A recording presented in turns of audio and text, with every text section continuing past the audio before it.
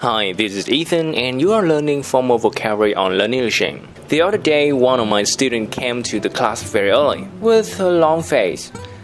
So I asked her what happened, and, and received a pretty sympathetic answer. She told me that she was being bored with her life, she couldn't wake up with happiness, nor could she go to work without, you know, feeling like to go home. It really took me by surprise since she looks a very, very, very, very talented girl and joyful. But you see, everybody experienced this.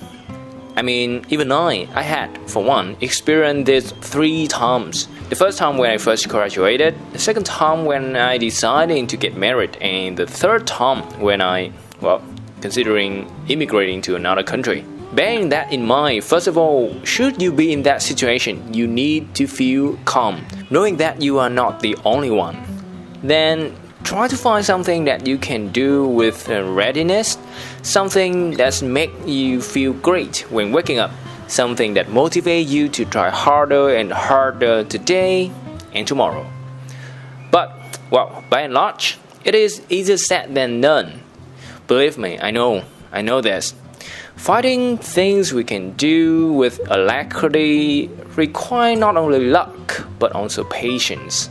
Speak of which, do you know about the word alacrity? If you don't, great. This is our word today. Now let's talk about the word alacrity. Alacrity, well, pronounced as uh, alacrity. Beside the accent, the pronunciation of alacrity in um, both British and American are relatively the same. Like usual, let's hear some American saying. Alacrity.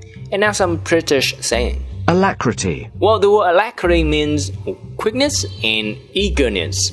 By and large, you can understand this word alacrity as a noun indicating the eagerness of you when doing something.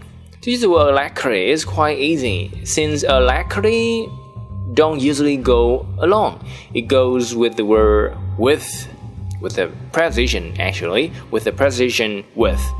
We have a phrase with alacrity as an adverb.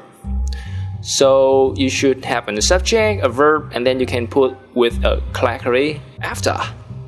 Let me give you some example. She accepted his invitation with alacrity. The alacrity with which she accepts his invitation is beyond anyone's imagination.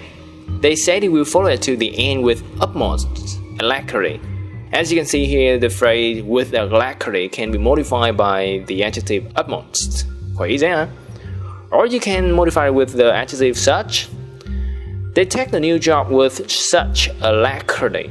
Now, about the IELTS, I cannot think of many situations where we can apply the word alacrity in the writing. However, in the speaking, I think we can use it in IELTS speaking part 1 since it's not very, very formal. You can use it when you talk about hobby, like you can say, At weekend, I usually go to the movie with alacrity. Uh-huh. Or I like to read. I mean, I can read with alacrity, not just because I have to, but because I like to. See, alacrity, quite easy when you apply it in the IELTS speaking. And that is the word today. Alright, thank you for watching this video today. We have just learned a new word, alacrity. And it would be great to go to the comment section and give me some comment using alacrity. And it would be even greater if you can make example with alacrity in the topic, relating to the topic of hobby. Other than that, enjoy your day and I hope if you have to ever be in the situation that I mentioned, feeling lost, feeling that you don't know what to do, feeling like everything is boring, then, well, remember, keep calm and try to find something you like to do first. Then you can think about your career later. I'm Ethan, and good day.